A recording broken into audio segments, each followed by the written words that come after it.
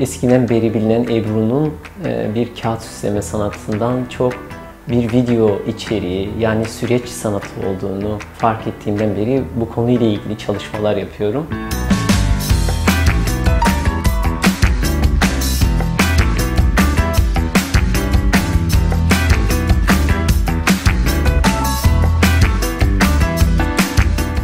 Ebru çok renkli ve e, rastlantısal tarafı başlardan beri dikkatimi çekmişti. Peki insanların çok fazla farklı şeyler yapmayı denemediği bir alan olarak fark ettiğimde kendimi bu işi yapmaya başlarken buluverdim.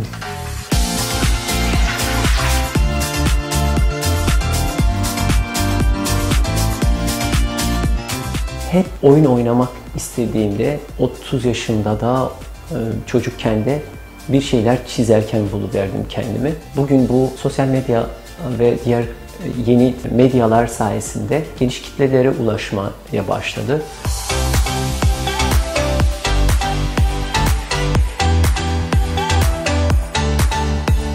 Ben de aslında bir çiçek veya bir hatip formundan çok e, bir insan yüzü veya morf geçirebilecek yani dönüşüm gösterebilecek farklı bir tema Hatta bir de bunun video diliyle bir araya gelebileceğini düşünürken haliyle bir kavramı uygularken onun dönüşüm süreçlerini de e, göz önünde bulundurmaya çalıştım.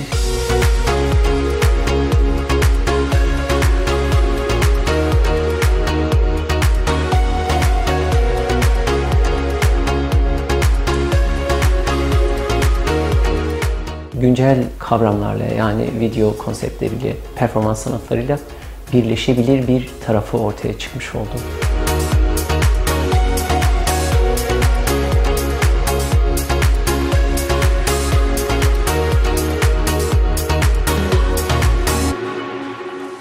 Yıllardır Ebru'nun teknik olarak yapabilecekleriyle ilgili kaygılarım oldu ve yaptığım kavramlarla ilgili bir mesaj kaygısı taşımadım. Bu nedenle belki de bu çeşitli uygulama farklılıkları dünyanın birçok yerinden farklı konseptler, farklı içeriklerle ilgili benimle işbirliği yapmak isteyen davetler almamı sağladı. Haberimin olmadığı coğrafyalarda bile e, bu sanatın oralarda bir tanımının, anlamının oluşmaya başladığını fark ettim. O yapıyor olduğum videoların oralarda popüler kültür tarafından ilgiyle karşılanmasından sonra.